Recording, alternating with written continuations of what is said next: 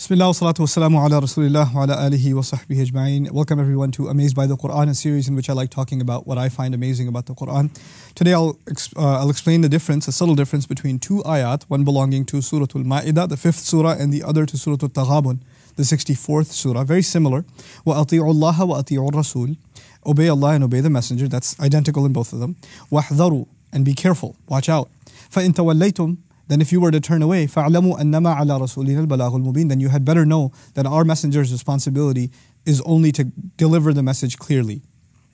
Uh, وَأَطِيعُوا اللَّهَ وَأَطِيعُوا الرَّسُولَ In Surah Al-Taghabun, obey Allah and obey the messenger. فَإِن تَوَلَّيْتُمْ Then if you were to turn away, فَإِنَّمَا عَلَى رَسُولِنَا الْبَلَاغُ الْمُبِينَ Then our, our messenger's only responsibility is to deliver a clear message. So it, they both seem to be saying obey Allah and obey the messenger.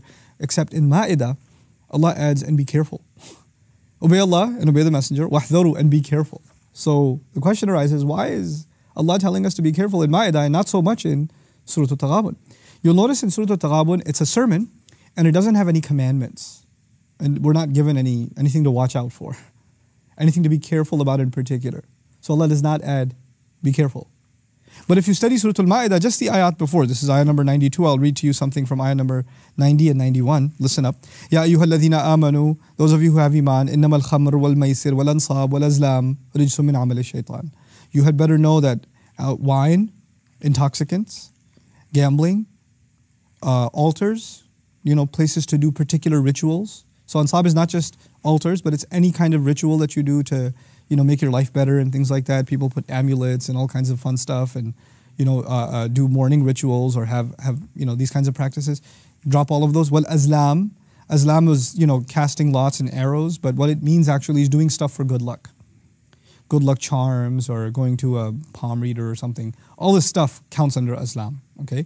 So he says alcohol, gambling, these weird rituals, I'll make it easy, weird rituals, and then doing things for good luck. All of them, رِجْسٌ مِّنْ عَمَلِ الشَّيْطَانِ These are abominations, filth from the work of the devil. فَاجْتَنِبُوا Stay away from all of it. لعلكم تفلحون so you could be successful. إنما يريد الشيطان أن يوقع بينكم العداوة والبغضاء. Shaitan, all, all he wants is that he install between you and drop between you animosity and hatred. في الخمر والميسر by using alcohol and gambling.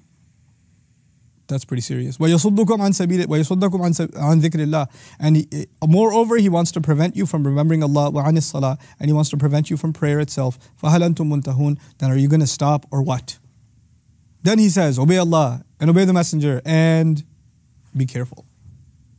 He said, be careful because there's lots of things to watch out for in the, for in the previous ayah. There isn't a long list of instructions of the tricks of shaitan. By the way, when it comes to shaitan, he gets you to do things when you're not careful. So it's important to mention at that point, not just obey Allah and obey the Messenger, but also add wahdharu. Be careful. The perfection, once again, of what needs to be said at what occasion. This is actually pretty good, you know, uh, uh, tip and a very powerful divine tip uh, uh for a da'i, for someone who's speaking and giving advice to someone. When should you emphasize something? When should you not emphasize something? When is it the time to speak less and when is it a time to speak more? Sometimes you have a lot on your mind, you want to get it all out, but you should sense this is not the right time. This is given the subject matter, I don't need to emphasize it as much. It might take away from the from the idea of emphasis. You know when people emphasize something all the time, then it loses its emphasis. If people are yelling all the time, it doesn't sound as loud anymore. You know, if people are angry all the time, people get used to their anger. They're not fazed by it anymore. So you have to turn it up sometimes and, not, and take it down a few notches sometimes. That's what the Quran does. That's why the Quran's ayat are compared to the breeze. Some breezes are strong, some are soft, some are warm, some are cold. This is what Allah does. He'll give the same advice, but given the situation and the audience and the subject matter at hand, He might intensify it or He might take it back.